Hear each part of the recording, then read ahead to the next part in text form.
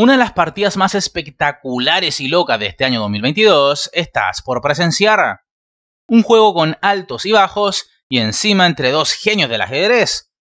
Esto corresponde al Campeonato Mundial por Equipos y este choque obedece al duelo entre Ucrania y Países Bajos. Con blancas tenemos al legendario Vasily Ivanchuk, conocido como uno de los reyes sin corona de la historia del ajedrez y apodado cariñosamente como Chucky, un verdadero genio. Y bueno, con negras tenemos al joven gran maestro de Países Bajos, Jordan Van Forest. Prepárate para disfrutar de una partida épica, pero antes de aquello, recordarte que en nuestro sitio web hay una serie de cursos esperando por ti. Bien, sin más, comencemos. Abre el juego Vasily Banchuk con D4, responde Jordan Van Forest D5, C4 Gambito de Dama, E6 Gambito de Dama declinado, Caballo C3, C5. La negra plantea la defensa Tarrach, donde el negro se muestra dispuesto a jugar con un peón de aislado. C por D5, E por D5, caballo F3, caballo F6, E3. Ivanchuk sabe jugar todo tipo de aperturas y decide jugar esto que es más pasivo en lugar de el normal alfil G5, que de hecho se jugó en una partida entre Carlsen y el propio Fan Forest en el Chessable Masters del 2022, lo que siguió con alfil E6, D por C5, alfil por c5, e3, caballo c6, alfil b5, etc., con triunfo para Carlsen. Entonces probablemente Ivanchuk dijo, voy a jugar algo más clásico a ver si de pronto lo saco de la teoría a este muchacho. Así que juega e3. Y ahora a6, una jugada interesante. Y lo es porque es muy inteligente. Las negras evitan alfil b5 del rival. b3, las blancas buscan desarrollar vía fianqueto a su alfil de dama. Caballo C6, alfil B2, alfil G4, alfil E2, alfil por F3. Una buena jugada, aunque difícil de hacer. Y es que jamás es fácil cambiar un alfil por un caballo antes de haber siquiera una provocación del tipo H3, por ejemplo. Pero bueno, esta jugada obligará a las blancas a recapturar de peón en D4, lo que bloqueará al alfil de B2. De allí el sentido de esta jugada. Sigue la partida con alfil por F3, C por D4, E por D4. Como ves, el alfil queda tapado por su propio peón en D4. Alfil B4, enroque, enroque, caballo A4. Buena jugada de Shuki. El caballo se dirige a C5, lo que podría crear algunos problemas a las negras. Torre 8, caballo C5, B6. Fuera caballo mugriento, dice el conductor de negras. Caballo D3, Alfil de 6, torre C1. Todo luce muy igualado, pero las blancas pueden luchar por la ventaja con ese destacado caballo en D3, más la pareja de alfiles. Torre C8, torre 1, caballo E4. Intercambiar torres era ligeramente mejor, sobre todo tras el siguiente movimiento de Ivanchuk. Torre E2, buena jugada, preparando el doblaje de torres en la columna C.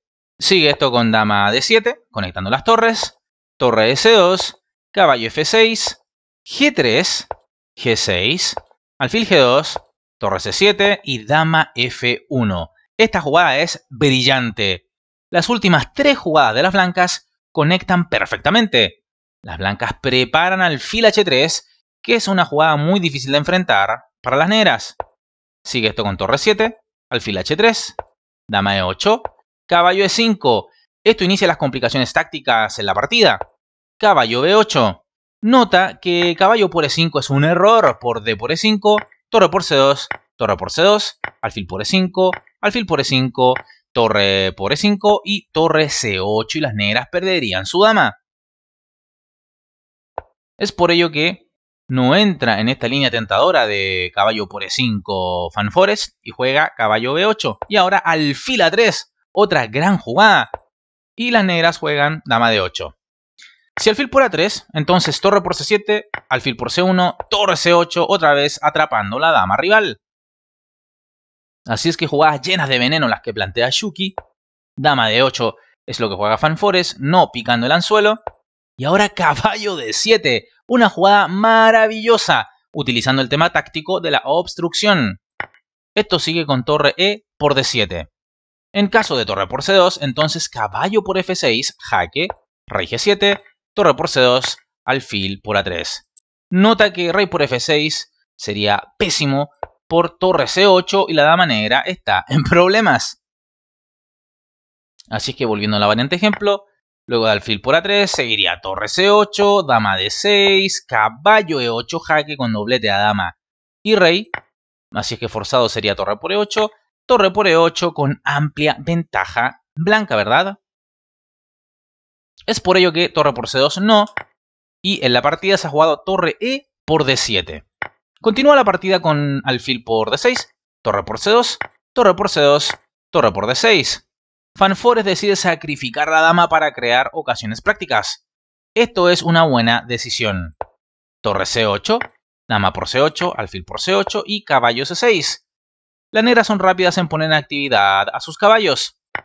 Sigue esto con dama por a6, caballo por d4, rey g2, rey g7, b4, caballo c2, dama a4, caballo e1 jaque, rey f1, caballo f3, dama d1, caballo e5, dama d4, caballo f3 y dama f4. Esto descuida el veneno que pueden tener los caballos negros. La jugada exacta acá era dama e3. Esta era la jugada que controlaba los traviesos equinos negros. Si ahora caballo e4, por ejemplo, impidiendo dama por f3, por doblete, ¿verdad? Entonces rey g2, buena jugada, torre f6, alfil b7 y algo de las negras caerá en esta posición o el peón en d5 o alguno de los caballos. Sería amplia ventaja blanca. Pero la partida no se ha jugado el fuerte dama e3, sino que este dama f4. Sigue esto con caballo e4, rey g2, caballo e1 jaque, rey f1 y caballo d3. En lugar de esto, torre f6, buena jugada, apretando sobre la columna f, era mejor. Pero caballo d3 no lo es.